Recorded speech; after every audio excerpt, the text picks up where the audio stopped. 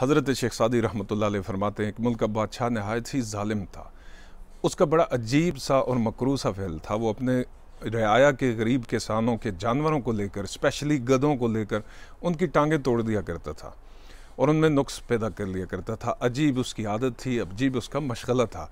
एक बार वो शिकार खेलने के लिए अपने लश्कर के हमरा निकला तो जंगल में रास्ता भटक गया। चलते चलते वो एक बस्ती के करीब पहुँचा। उसने बस्ती के बाहर एक किसान को अपने गधे के साथ मशगूल देखा। जो उसकी टांगों से कुछ कर रहा था। बादशाह आगे बढ़ा, उससे पूछा कि तुम अपने गधे की इस टांग के साथ क्या कर रहे हो? गरीब किसान ने कहा कि मैं अपने इस गधे की टांग को तोड़ रहा हूँ।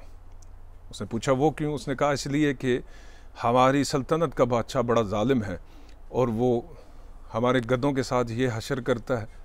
अब वो किसान बादशाह को जानता तो नहीं था उसने बादशाह से कहा, क्या तुमने सुना नहीं कि हज़रत मूसा सलाम और हज़रत खज़र का वाक़ कि हज़रत खज़र ने उस मल्लाह की कश्ती के तख्ते फाड़ दिए थे, इसलिए कि दरिया के दूसरे किनारे पर ालम बादशाह यही काम करता था, जो कश्ती से ही सालम होती थी, उसे छीन लेता था।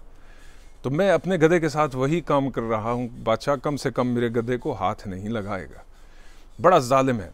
अच्छा उसने ये बादशाह के सामने उसकी बड़ी बदखसलतें बयान की, बादशाह उसके पास एक रात मेहमान रुक गया।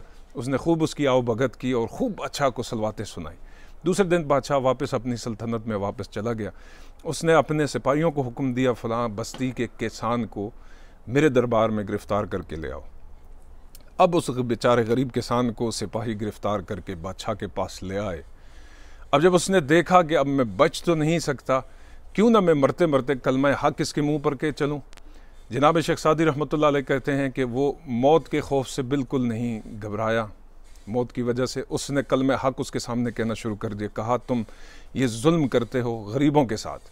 तुम्हें ऐसा नहीं करना चाहिए, ये तुम्हारे वज़ीर और मुशीर तुम्हें हक की राह नहीं दिखाते और ना तुम्हें नसीहत करते हैं।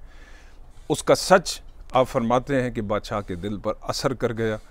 उसने बड़े इनाम कराम से उसे नवाजा और माजरत की और आइंदा के लिए इस मकरू फ़ैल को करने से गुरेज करने का उसने हद किया और उसे जाने दिया।